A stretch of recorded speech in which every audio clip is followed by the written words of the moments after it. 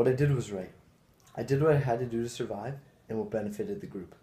Without me, they'd still be stuck on that island. I saved us.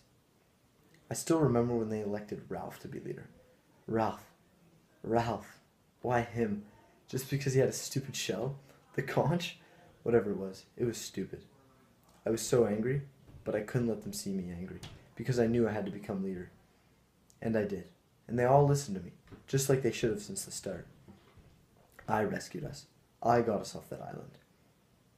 There were some things I had to do, though. Killing Piggy was one of them.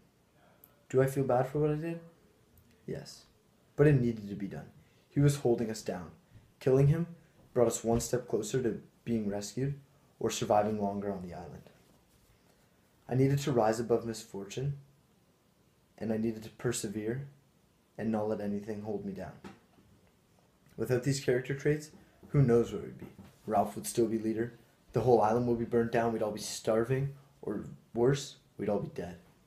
But one thing is for sure, we wouldn't be rescued. After this, they didn't even thank me when we got rescued. I rescued us. Not Ralph, not Roger, not anybody else. It was me. Do I feel remorse for what I did? No. It needed to be done. So I did it.